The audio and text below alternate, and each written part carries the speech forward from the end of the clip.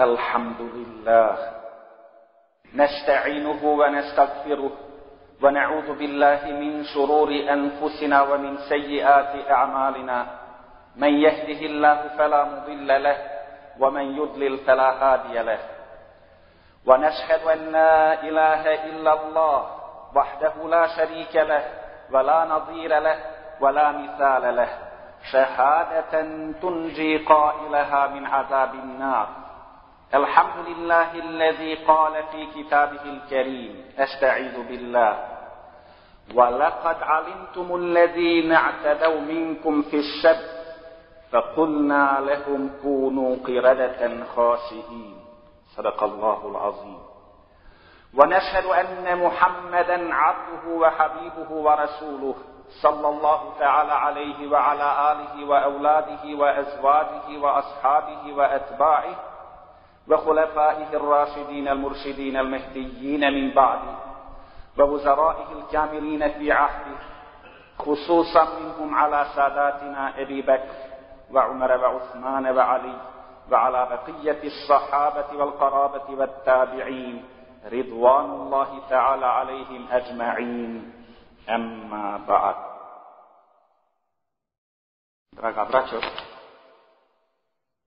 danas bih htio ukazati na posebnu štetnost javnog činjenja harama, javnog nemorala, koje kad postane bestidno, bezobzirno kršenje Allahovih odredbi, dovodi i do javnog kažnjavanja i sankcioniranja od strane Allaha u raznim vidovima i kaznama. Ima ljudi koji ne drže do vjerskih vrijednosti. Vremenom izgube osjećaj za moral, za odgoj i stid, pa im je sve jedno vidio ga ko kad radi haram ili kad je u haramu ili ne vidio, sve jedno mu činio to javno ili tajno i tako je onda nastala i krilatica pa se kaže šta me briga kad zna Bog nek zna i narod. To već prelazi u vrhunac griješenja. Vid ozakonjenja harama. Naime, nije isto činiti haram i kajati se, ili činiti haram i ponositi se time, isticati to. Ranije se mnogi prestupnici krili ili suzdržavali pred starim ljudima, pred imamom, pred Ahmedijom i tako dalje. I bilo je tu onda nešto od imana, makar, dok je bilo makar tako. Međutim, kad se i taj dio stida izgubi, onda je to veliki problem i onda već može doći i do ovo dunjalučke kazne bilježe hadijski autoriteti, dakle Ibni Mađe, Behekija, Bezad i drugi, od Ibni Omara, radijallahu anhu, a Hakim od Burejde, vjerodostojno predanje po kriterijuma muslima, a u kojem se kaže Akmel alejna Rasulullah sallallahu alaihi wa sallam qal Ja ma'ashar al-muhajiri Kaže, došao nam je Allahov poslanik sallallahu alejhi wa sallam i rekao muhajiri hamsu hisali izebtulitum bihinne wa a'udhu billahi an tudrikuhun sa pet svojstava ako vam se nađu bit ćete iskušani a ja se utječem Allahu Zerlešanu moleći ga da vi to ne dočekate. Pa onda pobrojava koji su to pet svojstava. Prvo,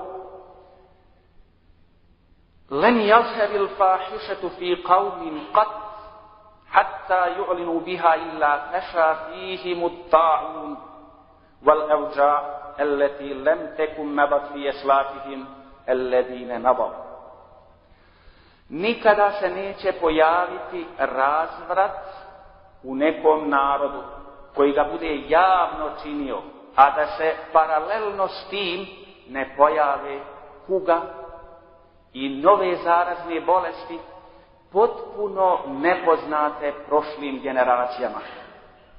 U verziji ovoga predanja, hadisa, koje bilježi Malik, rahimahullah, navodi se Vela feše zina fi qavmin illa kesure fihimul meut. Niti će se proširiti zinalu, prostitucija, jel? U nekom narodu, a da se paralelno s tim ne proširi i poveća smrtnost. Razvrat koji je spomenut u ovome hadisu. Islamski učenjaci su prokomentirali prostitucijom, homoseksualizmom i drugim vidovima perverzije koji se počnu javno, ovako bez ikakvog stida, na ulici i bestidno upražnjavati. A javno upražnjavanje zabranjenih radnji povlači kolektivnu ovosvjetsku dunjalučku sankciju, kao što to Kur'an Azimušen obavještava u primjerima ranijih naroda. Kuga i nove nepoznate bolesti u ranijim generacijama, savremeni tumači, naime ovo se kaže u hadisu, pa savremeni tumači između ostalog tumače i sa spolnim bolestima kao što su sada šida i druga savremena virusna oboljenja od kojih nema lijeka. Dakle, kad rješenje dođe na stepen kao što je, možemo slobodno reći, i u ovim situacijama kod nas, dakle, može se nadati, nažalost, i ovakvim kaznama kao što su ove ranije nepoznate bolesti, a sada bolesti od kojih boluje doista jedan ogroman broj onih koji se zarazili nepoštivajući propise Allaha Đalešanu. Ima stepen i iza toga, kad griješenje dođe na stepen opravdavanja i ohalaljivanja raznim hilama, trikovima i lukavstinom, onda posebno dolazi do rigorozne Allahove Đalešanu kazne još na Dunjaluku, kao što se navodi u primjeru židova. Naime, bila je pokušaj nadmudrivanja Allaha Đalešanu i izigravanje njegovim propisima, što se jeli egzemplarno ili drakonski kažnjava i to se ostvaruje odmah na Dunjalu. U Kur'anu se navodi primjer židova koji su se služili trikovima u pokušaju preinačavanja prirode zabranjenih dijela, pa su zbog toga kaznili najstrašnijom kaznom. Naime, u Kur'anu se kaže, Estaizu billah, وَلَقَدْ عَلِمْتُمُ الَّذِينَ اعْتَدَوْ مِنْكُمْ فِي السَّبْتِ فَقُلْنَا لَهُمْ كُونُوا قِرَدَةً خَاسِدِينَ Vama je poznato ono što se dogodilo onima od vas koji su se o subotu ogriješili. Kao i to da smo im mi rekli budite majmuni prezreni. Iz tumačenja tefsira hermeneutike Kur'ana ili ovoga ajeta saznajemo da su židovi odbili dan džume kao odabrani praznični dan tražeći umjesto džume da to bude subota. A petak je inače bio obavezan praznični dan za sve narode prije židova, a također i za muslimane poslije židova. E, pošto su oni odbili petak, insistirajući da praznik bude subotom, onda ih je Allah Đalešanu kaznio nečim što im je inače dozvoljeno. To jest zabranom lova i jedenja ribe na dan svetkovanja. Međutim, jata velikih riba i kitovi Allahovom odredbom dolazili su do obale samo subotom. Dakle, ribe je bilo u izobilju odabranim neradnim danom kada je židovima bilo zabranjeno loviti i jesti ribu. A drugim radnim danima kada su smjeli loviti ribu, nije nije bilo ni za vijeka jer se ona povlačila nekuda na pučinu, jednostavno je više nisu ni vidjeli do sljedeće subote. U Kur'anu se kaže استعيذ بالله واسألهم عن القرية التي كانت حاضرة البحر إذ يعدون في السبت إذ تأتيهم حيتانهم يوم سبتهم شرعا ويوم لا يسبتون لا تأتيهم كذلك نبلوهم بما كانوا يفسقون i upitaj ih o gradu koji se nalazio pored mora kad su propise o suboti kršili. Kad su im ribe na oči njihove dolazile dok su subotu svetkovali, a kad nisu svetkovali, one im nisu dolazile. Eto, tako smo ih u iskušenje dovodili zato što su stalno, stalno griješili. I na koncu nisu izdržali iskušenje, pa su počeli pojedinačno smišljati trikove, lukavštine, kako da zadrže i love ribu subotom, a da u isto vrijeme pokušaju izbjeći skrnavljenje zabrne lova.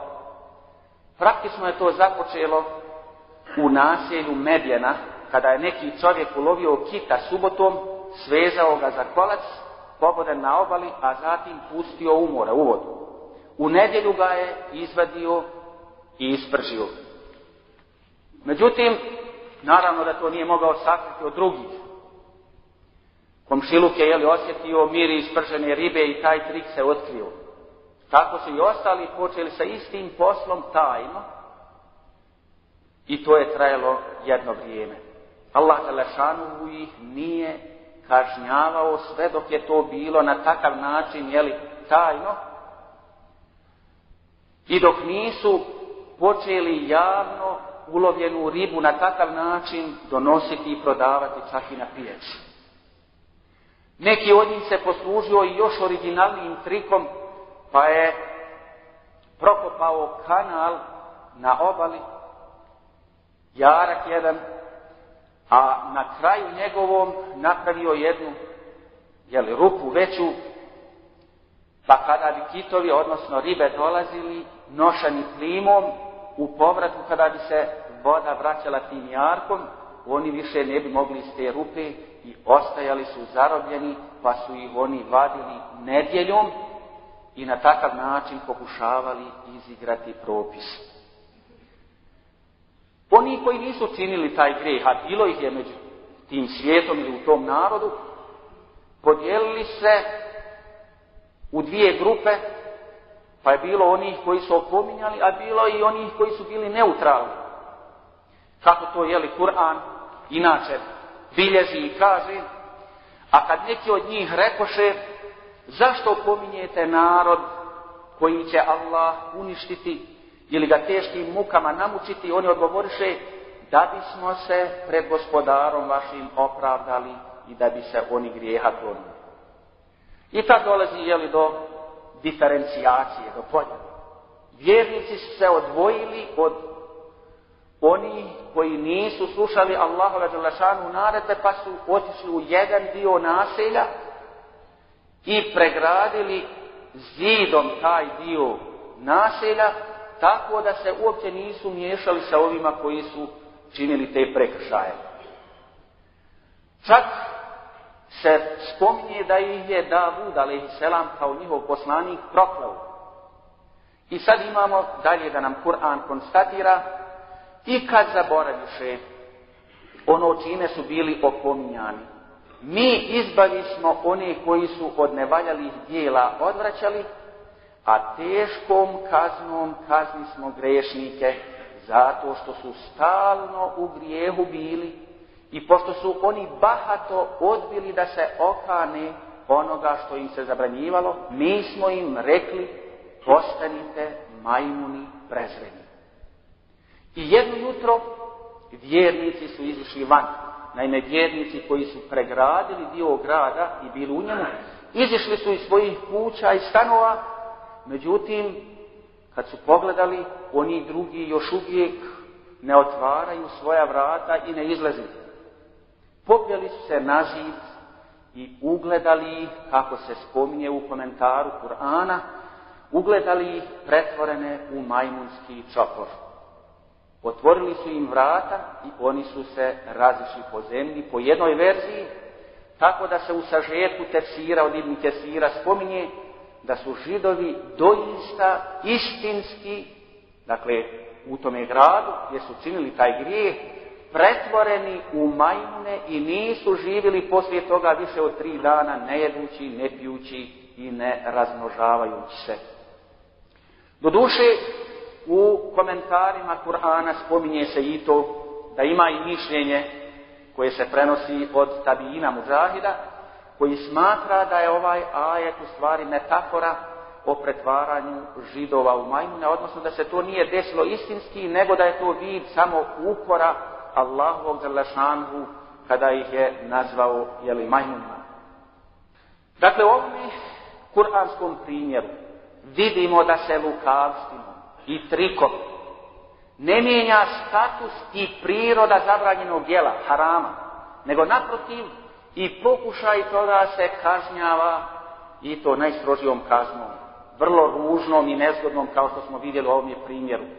Naravno, to što su židovi lovili u zabranjeni dan i prolijevali riblju krv, nije bio veći haram od prolijevanja ljudske krvi i krvi poslanika koje su oni ubijali. A mi znamo iz historije da su židovi imali puno poslanika koji su im dolazili, a mnoge od njih nisu slušali i ubijali su ih. Pa ipak, kad gledamo na grijeh, dakle i ovaj prvi i ovaj drugi, kod židova, Kur'an obavještava da je Allah Đelešanu požurio sa ovosjetskom kaznom prvih, pretvarajući ih u majmune, dok je drugima odložio kaznu za budući svijet. Tome ima simbolike. Židovi koji su činili taj prijestup, pokušavajući lukavštinom, trikom, da izigraju Allahova Đalešanu propise, oni su na izvjestan način bili sljedbenici te vrata, ali su se pretvarali da slušaju i poštuju njegove norme, iako su u stvari činili prekršaj. E, taj pokušaj izigravanja propisa samo je ličio na pokornost i poštivanje normi, a u biti je bio nedozvoljen čin. Zato je i kazna bila primjerena i ekvivalentna tome. Pa su pretvoreni u majmune koji samo liče na ljude, a u biti, jeli, nisu ljudi. Može neko pomisliti i reći, Bože dragi, kakva strašna i egzemplarna kazna zbog naizgled malog, bezazlenog i beznačajnog grijeha ili harama ili prijestupa.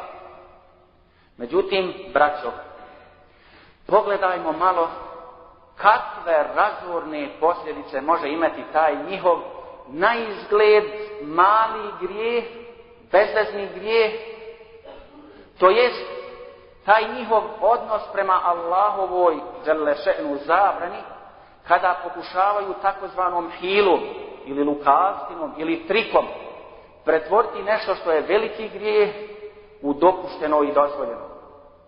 Pa da to pokušamo objasniti na našem primjeru.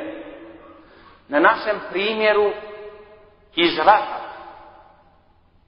Pošto nam je to, ili pošto nam je još uvijek sjećanje svježe na rat.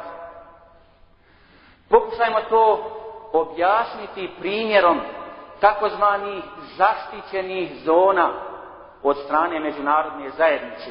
Pa da vas podsjetim, poznato je da su zajedničkom odlukom SAD-a ili Amerike, pa Rusije, Engleske, Francuske i Španije, čiji su se predstavnici sastali u Washingtonu 22. maja 1993. godine, bilo je predviđeno da se od šest opkoljenih gradova, a to su Sarajevo, Tuzla, Žepa, Gorazde, Srebrenica i Bihać, da se formiraju takozvane zaštićene zone i da ih mirovne snage štite od četnika.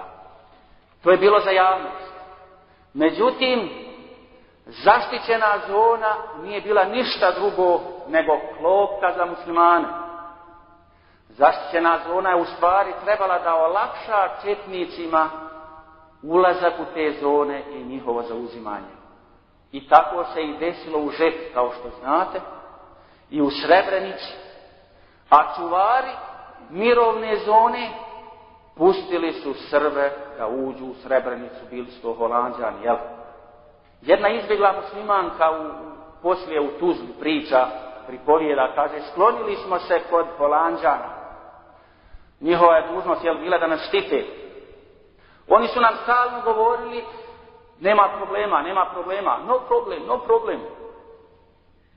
Međutim, četnici su pred njihovim očima uzimali i odvodili žrtve, dok je njihov komadant sa generalom Mladićem sjedio, pio, nazdravljao i čak se slikao. I doista nije bilo problema. Kako će biti problema?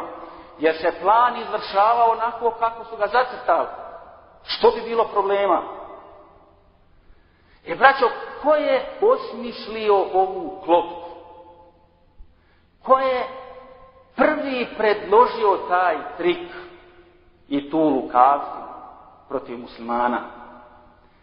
Bio je to, braćo, Morton Abramović, židov.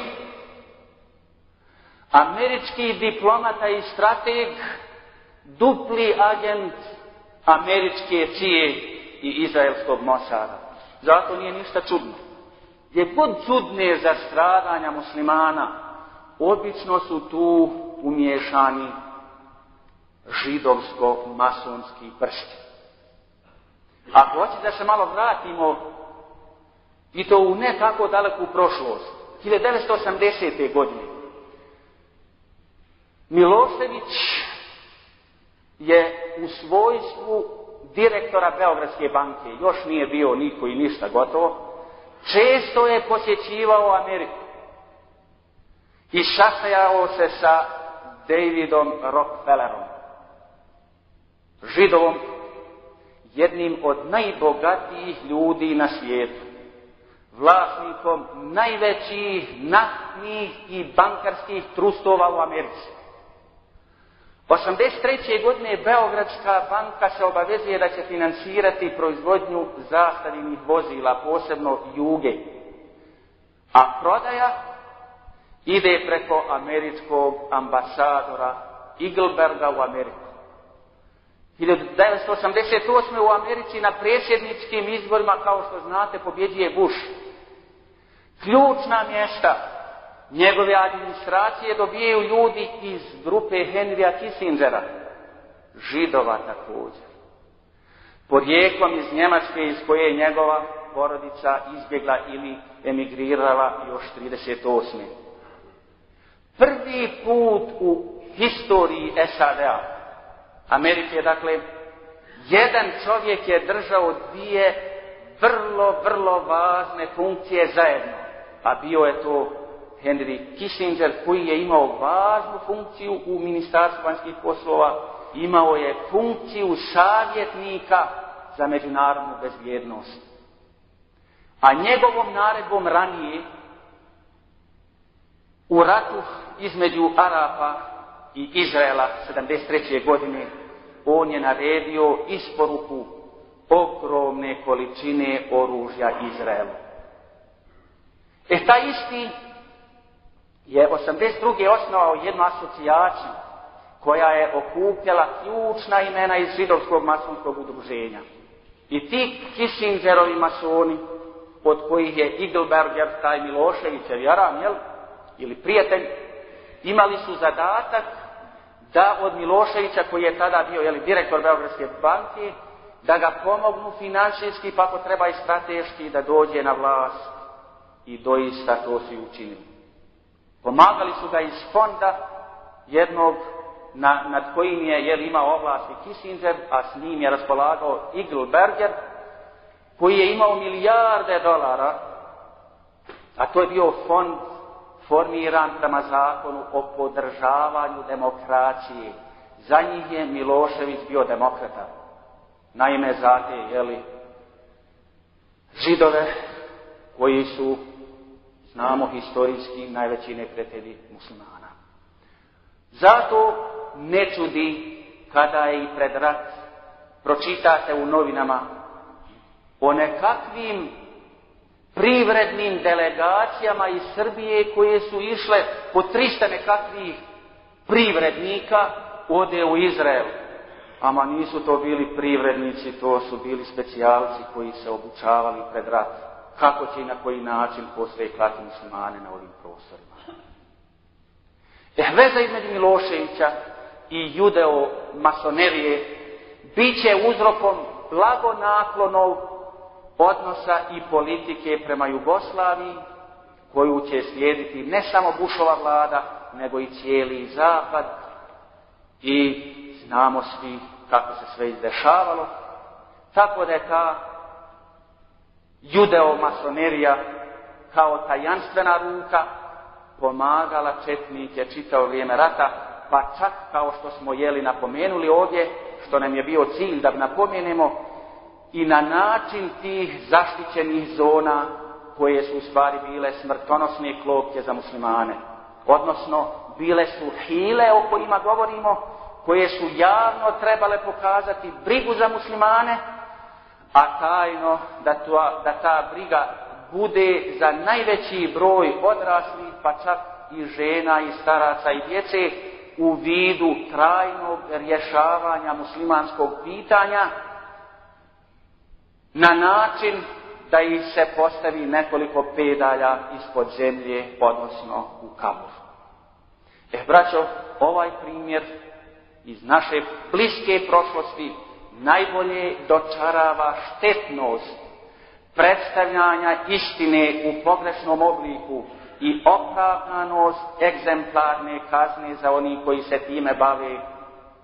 Pa prema tome ono što nam Kur'an govori o takvoj kazni doista je bila pravedna nad tim narodom i molimo uzvišenog Allaha Đalešanuhu da nam ukaže na spletke naših neprijatelja, da nas spasi i pomogne i da nas učini da uvijek budemo muslimani, da ostanemo muslimani i da preselimo na bolji svijet ako Bog da inša Allah kao muslimani. Amin. Ja Rabbal Alamin. Ja zal jalali wa ikram.